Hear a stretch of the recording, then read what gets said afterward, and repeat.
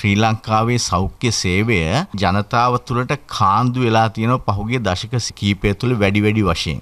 ඒ වගේම පසුගිය වසර 5-6ක කාලය ගත්තොත් එහෙම මේක තව වැඩි වෙලා තියෙනවා. දැනට වසර 10කට 15කට ඉස්සෙල්ලා මේ රටේ හෘද සැත්කම් කරේ රෝහල් 3ක පමණයි. අද වෙනකොට ඒ සංඛ්‍යාව දෙගුණ වෙලා තියෙනවා. අපේ රටේ සෞඛ්‍ය තත්ත්වය මනින නිර්ණායක අනුව අපි ඉන්න ඒ ඉහළ තත්ත්වය ගැන ලෝක සෞඛ්‍ය සංවිධානයෙන් පවා ශ්‍රී ලංකාව පැසසුමට ලක් වෙලා තියෙනවා. මේ වෙනකොට මැලේරියා, බරවා, පිටගැස්ම සහ රුබෙල්ලා සරම්ප තුරන් කිරීම සම්බන්ධයෙන් ලෝක සෞඛ්‍ය සංවිධානයෙන් අප පිළිගැනීමට ලක් වුණා. ශ්‍රී ලාංකිකයන් හැටියට හැමෝම ආඩම්බර විය යුතු දෙයක්. අපිට ආධාර ලැබෙනවා ලෝක බැංකුව තුලින් ලෝක බැංකුවෙන් ඩොලර් මිලියන 200ක සහන ණය මුදලක් ලැබෙනවා. මේ තුලිනුත් අපි උත්සාහ කරන්නේ ඒ ප්‍රාථමික සෞඛ්‍ය සේවා වර්ධනය කිරීමත් බෝ නොවන රෝග පාලනය කිරීමත්.